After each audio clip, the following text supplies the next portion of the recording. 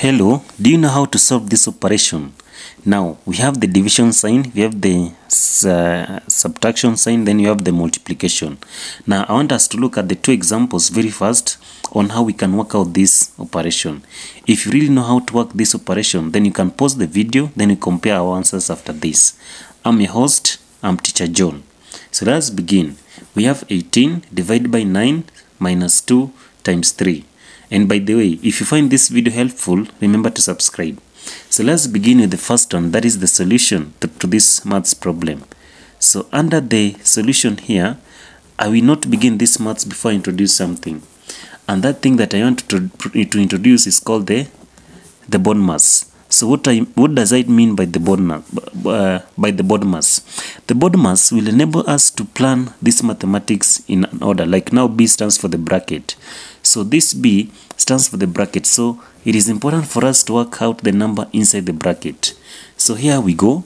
So the first step we say that now we write what we want to work out. We have 18 divide by into bracket 9 subtract from 2 multiply by 3 then close the bracket so the first step we say this one is equals to 18 then 18 divide by so we are supposed to work out this number here we, now we shall have 9 then subtract from 2 multiplied by 3 and 2 multiplied by 3 is 6 so we shall have our 6 there.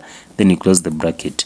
We are still not yet through with the bracket. Here we shall have 18 divide by now the number inside the bracket is 9 minus 6 and 9 minus 6 is 3 now so as we conclude now we shall say that 18 divided by 3 that is 6 so now 6 becomes the correct answer.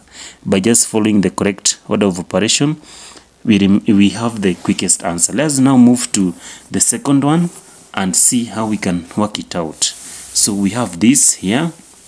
We have 6 multiplied by 2 subtract from 6 minus 6 multiplied by 2 raised to power 2 so as the same same way when you see these mixed operations you have to introduce the BODMAS. The BODMAS shall guide you. So let's begin with the solution. I know by now now by checking by looking at our previous examples now you know how to work out this one. So as usual we are going to work out the number inside the bracket or the sums that are inside the bracket. So our first step shall be uh, so we shall have 6 multiplied by 2 subtract from 6 minus 1 then you close the bracket multiply by 2 raised to power 2 so the first step shall be